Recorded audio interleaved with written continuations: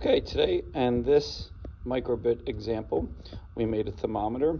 And as you can see, uh, the arrow is pointing to the A button. And the temperature is detected here on the back side on the processor, which is right there. If you can see where my finger is moving, it's right there. I'll zoom in a little bit. That is where the thermometer is as well on the microbits.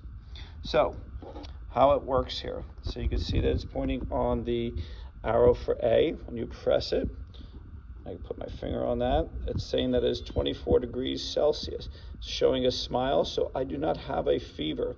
Now, for it to be very accurate, you'd have to leave your finger on that processor here for a few moments uh, to give it a better reading uh, and to see if it uh, changes. And right now you can see that the light is on green, meaning, hey, no fever. I press the A button again, and now it's at 26 degrees Celsius. So I still have that smile. Everything is good to go. Now, for some reason, I had a fever. Um, it would change to a frowny face, and then the red light would come on rather than the green light.